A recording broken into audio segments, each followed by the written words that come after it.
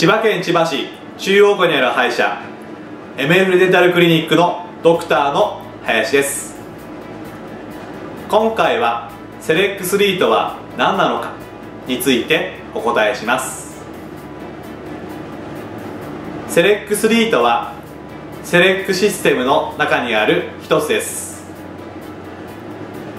今までセレック1セレック2というシステムがありました。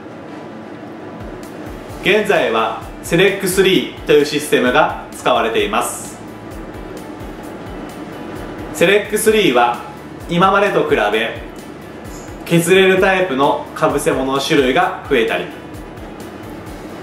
3D 上で作成するためのスピードがアップしたりといろいろな要素で発展しています。これからもますます発展していく分野となっています。以上のことをセレック3というシステムになっています。